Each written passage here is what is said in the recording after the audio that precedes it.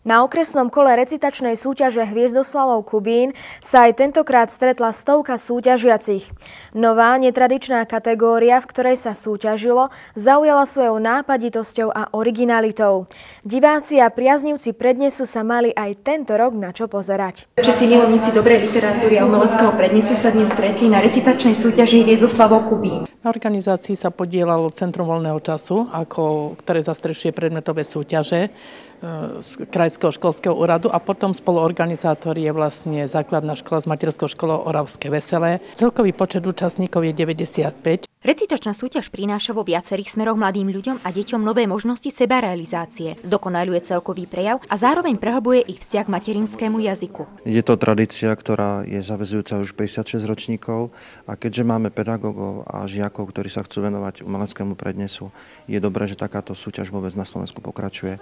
Má svoju históriu, veď vyrastali na nej naši redaktori, naši hlásatelia, vyrastali na nej herci, spisovateľa, takže súťaž ako taká má opodstatnenie. Súťaž aj tentokrát prebiehala vo viacerých kategóriách. V tomto roku sa mohli deti dokonca prezentovať v novom netradičnom recitačnom štýle, kde bolo dovolené skutočne všetko. Súťaží sa v troch kategóriách. Tento rok pribudla nová kategória, je to netradičný prednes.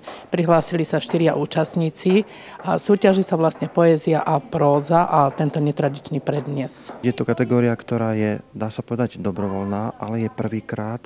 Ide o kategóriu, v ktorej žiaci majú prejaviť nielen prednášanie, ale aj to majstrovstvo pohybom, gestami. Môžu použiť rekvizity, rôzne nástroje hudobné, môžu použiť e, všetko, čo sa im k tomu prednesu hodí. Porota mala pri hodnotení ako vždy prísne kritéria. Originálnosť a tvorivosť dostali zelenú. Dôra sa kládol aj na ďalšie nemenej dôležité prvky. Porota si bude všímať hlavne čistotu prejavu, to je prvý rys, ktorý sledujú.